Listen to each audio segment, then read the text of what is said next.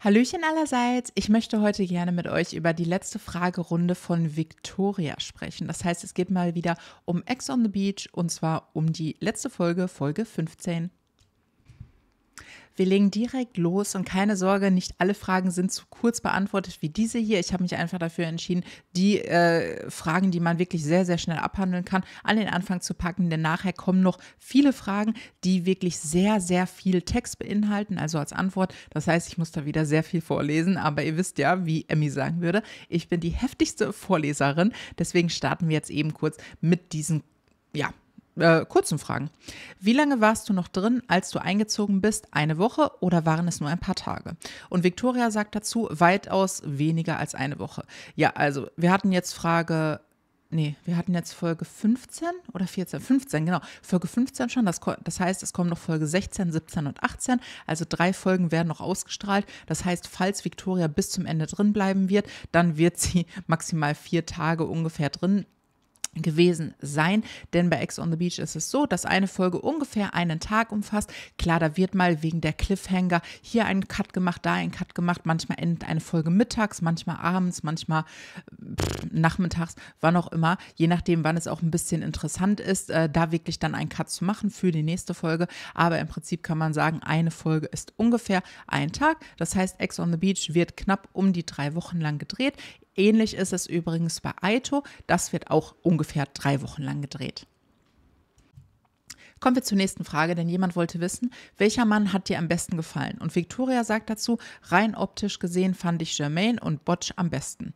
Und mir ist mal aufgefallen, dass ich Jermaine irgendwie immer mit E geschrieben habe. Ich weiß nicht warum. Vielleicht, weil er bei Insta Jermaine-E heißt. Keine Ahnung, E ist dann wahrscheinlich sein Nachname. Und ich habe das immer im Kopf verbunden zum Vornamen. Keine Ahnung. Sorry auf jeden Fall dafür.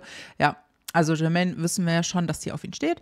Ähm, haben wir bei Aito gesehen und ich finde in dieser Folge, klar, obwohl sie am Anfang ein bisschen ausgerastet ist, hat man schon gesehen beim Date, dass ihr das immer noch sehr gut gefall, gefällt, Aufmerksamkeit von ähm, Jermaine zu bekommen. Ja, und Botch, würde ich sagen, passt auch ins Beuteschema, ne, was wir so von Victoria kennen.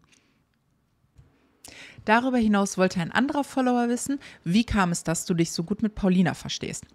Und wie habt ihr euch kennengelernt? Und Victoria sagt dazu, ich und Paulina Lubas, äh, der Esel nennt sich immer zuerst, kannten uns vorher nur von Insta. Wir haben uns aber von Anfang an auch in Real Life gut verstanden. Ja, hat man auf jeden Fall gesehen.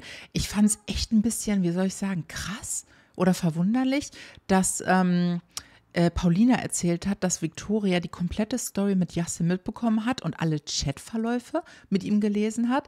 Das heißt, die beiden haben sich über Insta schon so gut angefreundet, dass man der anderen Person, also Victoria, die komplette Geschichte mit Justin erzählt hat und sogar die Screenshots von den Chatverläufen geschickt hat. Ja, das würde ich persönlich jetzt, glaube ich, nicht machen, wenn ich irgendwen nur über das Internet kenne. Wobei, weiß nicht, vielleicht doch, keine Ahnung. Vielleicht ist das die moderne Brieffreundschaft. So, Leute, und jetzt kommen wir zu den Fragen, die sehr, sehr ausführlich beantwortet wurden. Das heißt, es gibt viel vorzulesen. Jemand wollte wissen, hast du mit jemandem aus der Show Streit? Und Victoria sagt dazu, mal abgesehen davon, dass man mit mir wirklich sehr schwer in einen Streit kommt, habe ich tatsächlich gegen eine einzige Person aus der diesjährigen Staffel wirklich was. Aber das hat nichts mit dem zu tun, was in der Show passiert ist, sondern privat. Und ich glaube, ich weiß, wer hier gemeint ist. Die Person hat sich mir gegenüber wirklich sehr frech verhalten, Behauptungen in den Raum Raum gestellt, die einfach nichts mit der Realität zu tun haben und mich mit ihrem Verhalten auch sehr verletzt und enttäuscht. Wir werden sehen, vielleicht mache ich mir noch mal die Mühe, euch das in Ruhe zu erklären, einfach um meinen Standpunkt zu vertreten und euch zu zeigen, dass die Leute, die sich im TV von ihrer besten Seite zeigen, im Real Life meistens komplett daneben sind. So, und ich bin zu 99,999 Prozent davon überzeugt, dass sie damit äh, die dunkelhaarige Laura, Laura G, Laura Mania, whatever meint. Denn ähm, Laura hatte vor einigen Wochen, als Ex on the Beach wieder ausgestrahlt wurde und als auch noch gar nicht die Kandidaten bekannt gegeben wurden, hat sie eine Story gemacht und ich habe die leider nicht abgefilmt, weil sie mich irgendwie nicht so richtig gecatcht hat oder nicht so richtig interessiert hat, dass ich dachte, okay, das ist jetzt voll wichtig. Deswegen, falls das einer noch irgendwie abgefilmt hat, abfotografiert hat, was auch immer, oder das noch besser im Gedächtnis hat, dann schreibt es gerne in die Kommentare. Aber es ging auf jeden Fall darum, dass Laura über eine äh, geplante Schönheits-, nicht Operation, ich glaube, sie wollte sich auch die Zähne machen lassen, auch eben in der Türkei, wie Anastasia das jetzt gerade hat machen lassen und eben meinte, dass sie enttäuscht sei von dem Prozedere und das deswegen doch nicht hat machen lassen. Ich weiß aber nicht mehr, was genau da falsch gelaufen ist und worüber genau sie sich beschwert hat, aber sie meinte eben, dass sie eine deutsche Ansprechpartnerin hatte, von der sie auch eben sehr enttäuscht ist. So. Und damals hatten schon, damals, vor ein paar Monaten, hatten schon viele Leute die Vermutung, dass es da um Victoria geht, weil bei Victoria ist es ja eben so, dass sie, ähm, ich weiß nicht, ob das ihr einziges Einkommen ist. Ich glaube aber nicht. Auf jeden Fall eines ihrer Einkommen besteht darin, die äh, deutsche Ansprechpartnerin für diese Zahnklinik in Bodrum ist das, glaube ich, auf jeden Fall in der Türkei zu sein. Das heißt, Deutsche, die das äh, machen lassen möchten, die entweder Veneers haben möchten oder Kron, können sich an Victoria äh, wenden. Die ganze Kommunikation läuft über Victoria als deutsche Ansprechpartnerin und sie organisiert das alles und ist halt immer für einen sozusagen da. Und anscheinend ist das nicht so gut gelaufen. Ich weiß jetzt nicht genau, was da passiert ist. Falls ihr das noch äh, besser in Erinnerung habt, dann wie gesagt, schreibt es gerne in die Kommentare oder wir warten darauf, bis eine von beiden oder beide sich nochmal dazu äußern. Damit kommen wir zur nächsten Frage, denn jemand wollte gerne wissen, hast du gute Erfahrungen bei Ex on the Beach mitgenommen? Und Victoria sagt, also ehrlich gesagt hat mir die Show an sich nicht wirklich Spaß gemacht, weil wenn man erst einfach kurz vor Ende reinkommt, keinen Plan hat, was da abgeht und versuchen muss, irgendwie auf Druck Anschluss zu finden, ist das halt anstrengend. Ja, glaube ich. Also man hat so gesehen zwei Optionen. Entweder man zieht sich spontan irgendeine Story aus dem Hintern und versucht sich zu integrieren oder man hockt halt in der Ecke und ist umsonst 25 Stunden nach Mexiko geflogen. Ja, das könnte damit zusammenhängen, dass sie da ähm, am Strand so doll ausgerastet ist wegen Jermaine und sich überlegt hat, okay, jetzt muss ich hier richtig auffahren. Beziehungsweise ich glaube, dass die vor diesen Stranddates oder Strandaufeinandertreffen generell immer so ein bisschen angestachelt werden, beziehungsweise dass die Produktion sagt, so jetzt mach mal hier ein bisschen was Interessantes, ne? Ähm, weil es ja wirklich oft vorkommt, dass Leute da irgendwie etwas erzählen, wovon der jeweilige Ex-Partner sehr, sehr überrascht ist und womit diese Person eigentlich nicht gerechnet hätte. Ähm, weiterhin sagt sie, ich mag lieber Shows, wo man von Anfang an dabei ist und auch fähig ist, seinen Part in der Gruppe einzunehmen. Ja, kann ich sehr gut verstehen, denn sie kam jetzt wirklich sehr, sehr spät. Also wirklich maximal vier Tage in einer Show ist total wenig. Was soll die da noch machen? Also Dating kannst du eigentlich vergessen, da kannst du irgendwen kennenlernen und dann höchstens draußen den Kontakt weiterführen. Aber sonst hast du da vier Tage, das ist ja nichts. Naja, es gibt aber auch Leute, die sind immer nur einen Tag drin gewesen. Ne? Zum Beispiel Mike, der Mike Hessel, ich glaube, der war tatsächlich irgendwie nur einen Tag drin. Oder zwei. Auf jeden Fall super, super kurz.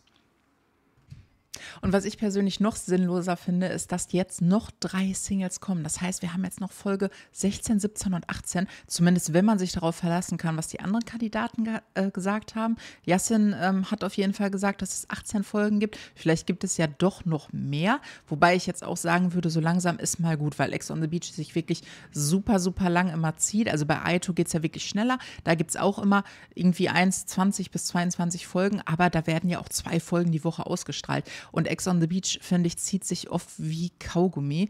Naja, aber wie dem auch sei, auf jeden Fall, wenn es jetzt wirklich nur noch drei Folgen gibt, dann ziehen jetzt noch drei Leute ein. So, was soll das? So ein Typ, den wir bis jetzt äh, noch nicht kennen, der heißt Chris oder Christian.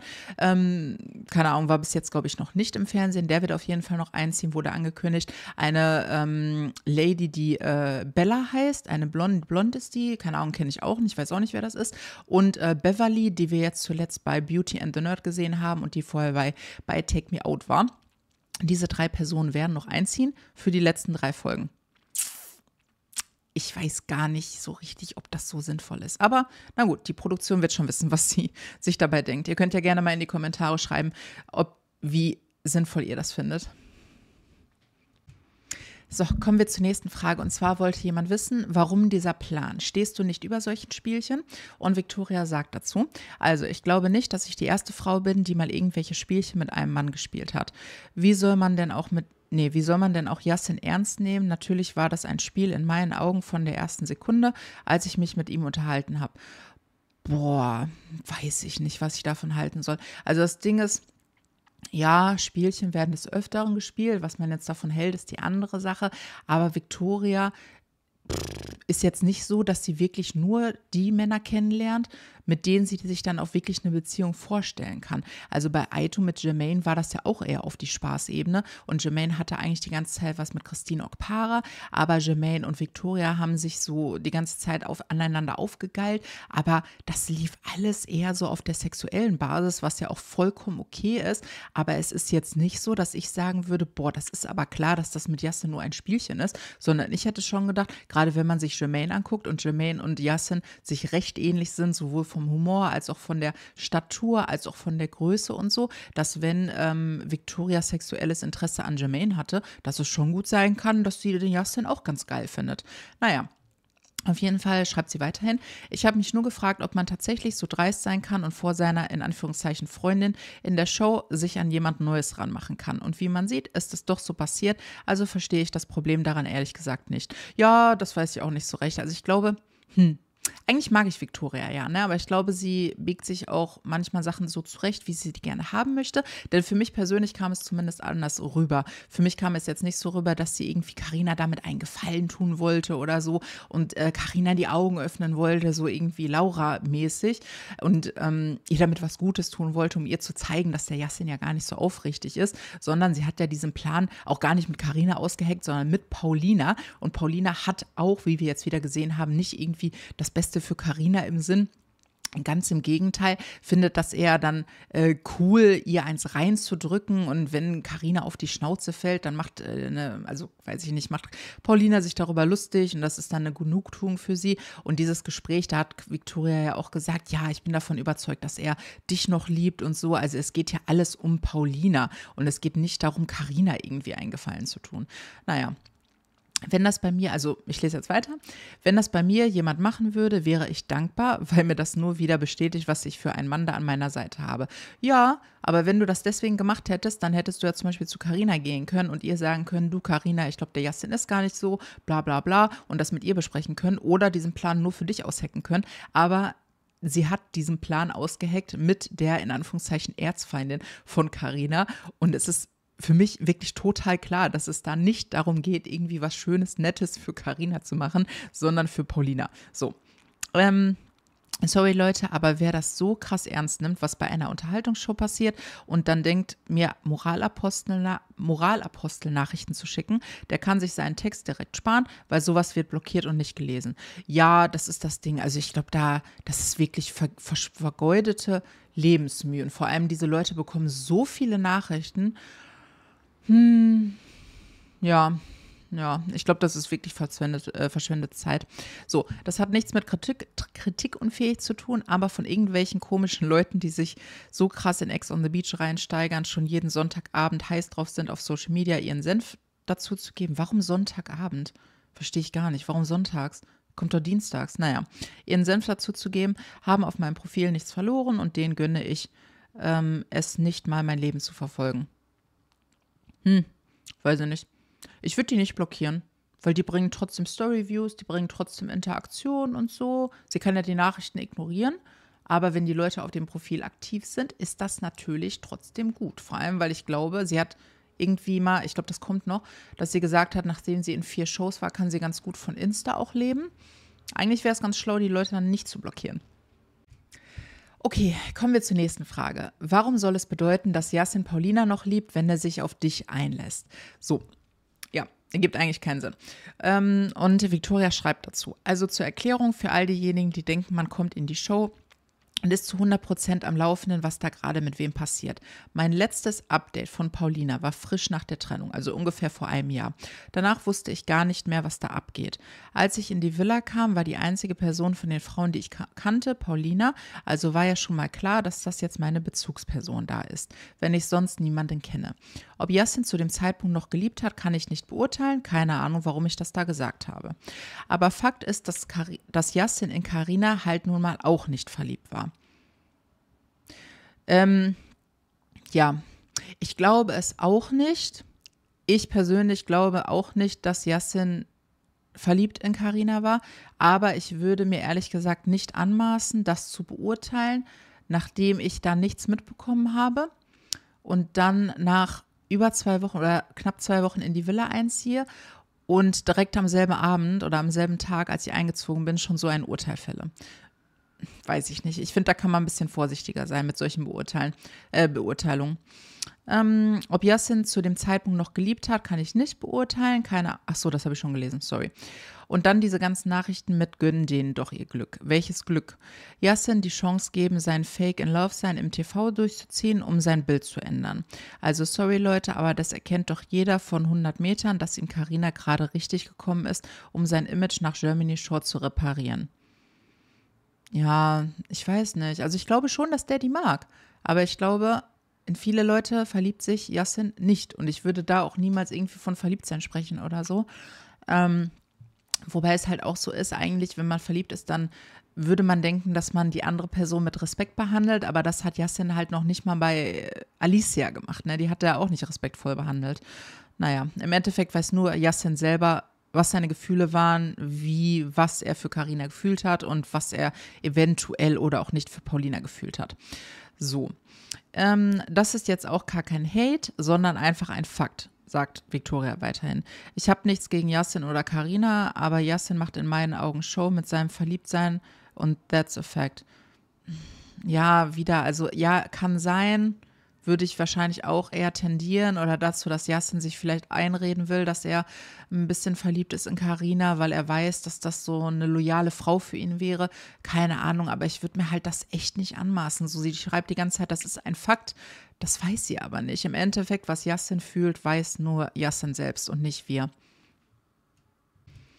So, das war es auch schon wieder mit diesem Video. Ich hoffe, es hat euch gefallen. Wenn ja, dann lasst doch gerne einen Daumen nach oben da und ich verabschiede mich von euch für heute. Bis dahin, tschüss.